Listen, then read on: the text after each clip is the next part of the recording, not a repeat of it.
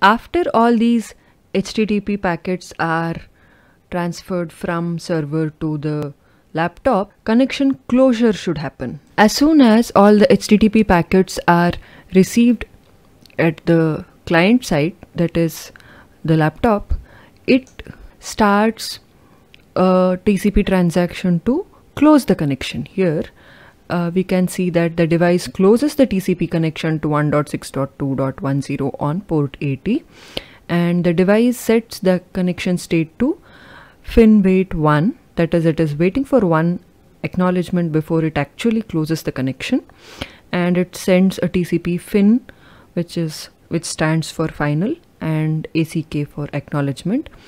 Uh, device sends a TCP fin plus ACK segment now we can see that the TCP fin ACK has reached the server of the hotel.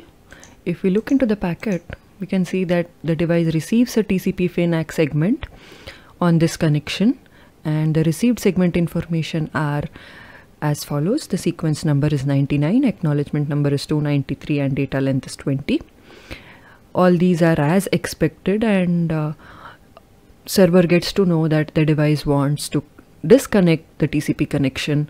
So the device sets the connection state to close wait and it sets the connection state to last acknowledgement and then device again sends a TCP final acknowledgement to the laptop. Device here is server, server sends a TCP final acknowledgement to the laptop. The final acknowledgement from server has reached laptop now and it received uh, the received segment information are as follows.